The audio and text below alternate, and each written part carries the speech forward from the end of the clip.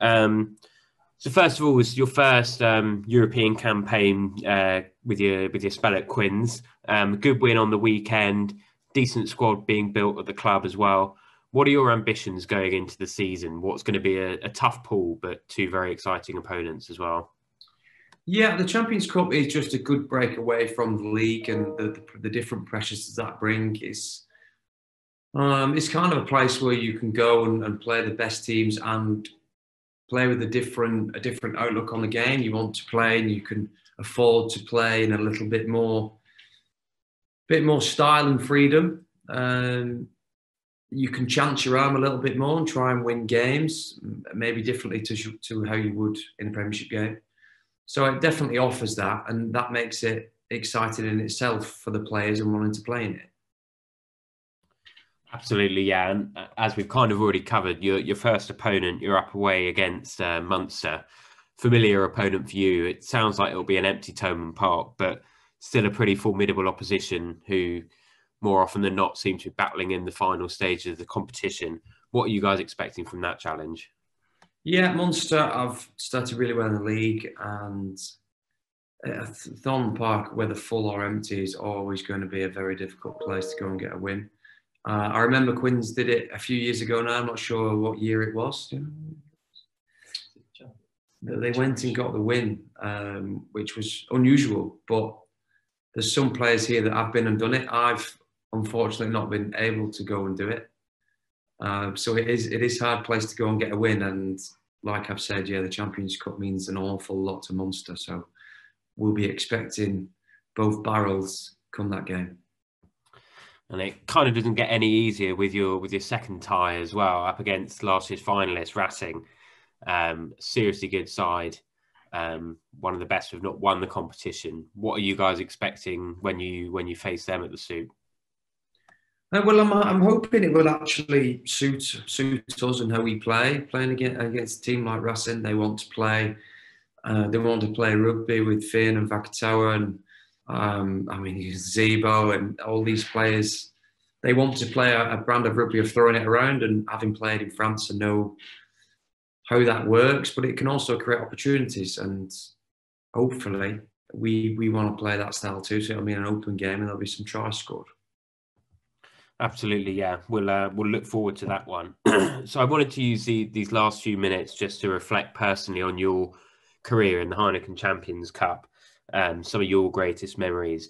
You've obviously got this incredible record of 40 tries um, scored in the Heineken Champions Cup. Um, I sort of wanted to start by thinking back to your first memories of the competition when you were when you were back at Saints.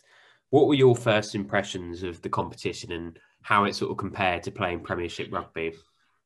One of my first memories, funnily enough, would be would be against Munster. Um, having come from rugby league, always playing against your local team, really, to be able to go to leave Northampton and, and go across to Thomond Park and just experience Thomond Park when Munster were at the top um, and with a full crowd was something I'd never, never experienced before.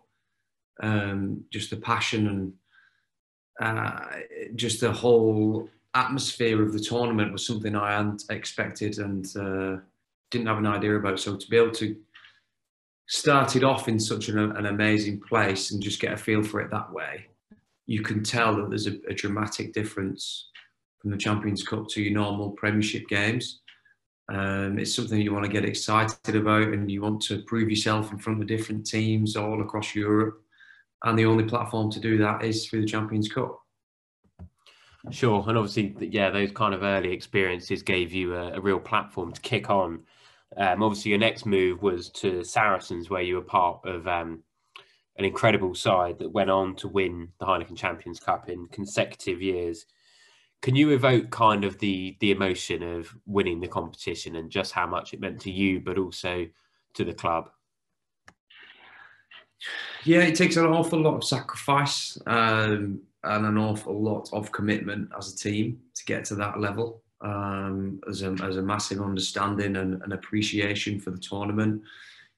It's, it's a tough one to win. Um, and to win it twice is um, amazing memories for me. I, would I'd love to do it again, right? But just to have that, probably the first experience is the one that sticks with me. It was to finally get to the to win a Champions Cup is something that I, would always I've always wanted to do. I, I, always want to win. So to get to the final and finally get over the line against against Racing in in um, in France was an amazing achievement, and yeah, it got a lot of gratitude for it.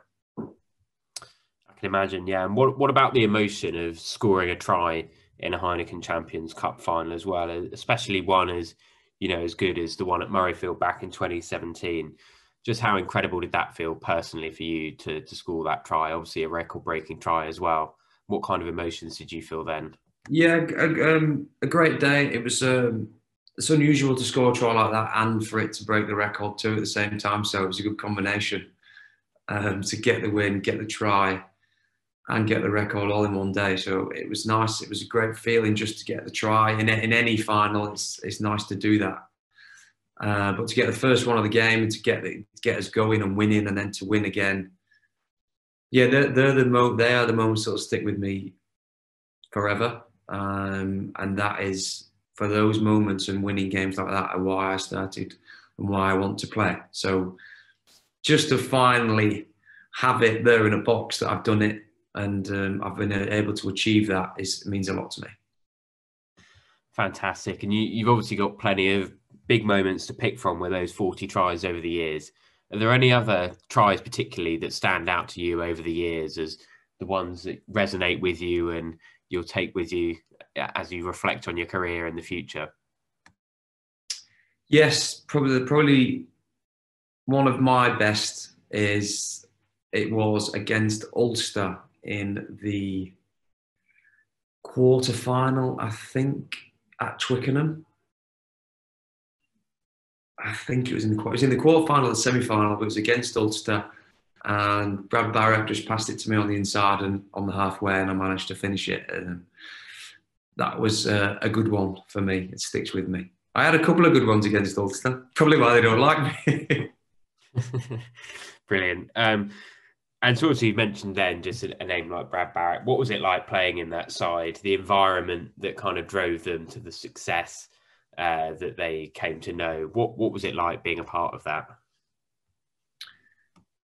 Yeah, I think having someone like Brad and, and the other players that are in there is consistency and uh, it's cons- consistently a high level.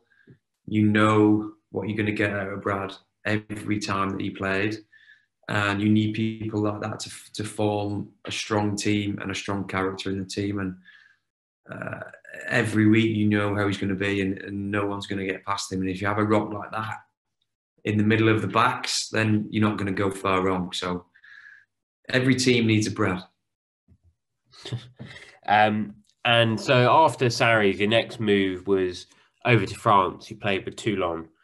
Um, how did playing Champions Cup rugby with a French side develop your career, do you think, and your ability as a as a player and as a finisher as well? What lessons did you learn from your time at Toulon? Um, the game, uh, the game itself in the top 14 suited me um, a lot.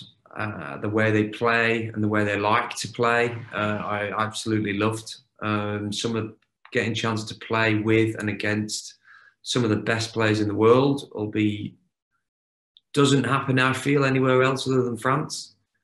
So to be able to have that opportunity and just experience how these players work and operate day to day, and to be able to play with them on top of that and score tries with them was uh, the same as winning the cup for me in, in a, an a life experience. It's, it's a one off. And yeah, I benefited from it just being around them all the time and they can get you tries. So you know, you know, you know to follow the right people. Yeah, so I mean, obviously you played on, you played with so many players and in so many teams that will have inspired you in various different ways. But who would you say over the years in European rugby are the biggest inspirations in terms of players you've watched, players you've played with, coaches you've played under? Who are the the figures that have influenced and inspired you most over the years? Hmm, good question. I I think one person that sticks in my mind and I was fortunate enough to get to meet him and play with him and spend some time with him at Toulon, at the back end of his career, but he was always someone that I admired watching, especially in the the Heineken Cup Champions Cup. Is Vincent Clerc. Um, what a player he was for Toulouse, how many tries he scored, and for me to actually get ahead of him in his record, um, I have nothing but admiration for the man. And to finally meet him at Toulon, I think sometimes they, they say you shouldn't meet people like that, but for me, he's uh, one of the nicest guys I've ever come across. So it was really nice for me to be able to see him at the end of his career and spend time with him. But yeah, I had big admiration for him as a player and as a try scorer, just as I wanted to be. Absolutely, yeah. What a what a fantastic player. And then just a couple of final bits, Chris. Um, I wanted to ask you. Obviously, you're you're at Harlequins this year. Um, quite possibly a few more years in you playing in the Heineken Champions Cup. But what are your broader aspirations for the future within the game? Um, yeah, like I'm, I'm still, I am still enjoying playing, and I still very much enjoy the occasion of a weekend, and I hope to do it for a few more years yet. Um, beyond that, I'm not. Too, I, I, want to stay in the game. Um, it's all I've ever known from being four years old. Rugby league or rugby union, I want to stay in. Um, in rugby in some form. I'm just not quite sure what that's going to be yet.